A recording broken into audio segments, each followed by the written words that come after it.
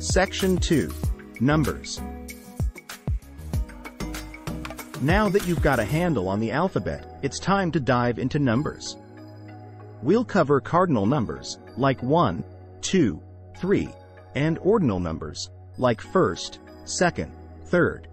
Understanding numbers is essential for everyday tasks like counting, telling time, and even ordering food. Section 3. Days and Months. Let's explore the concept of time now.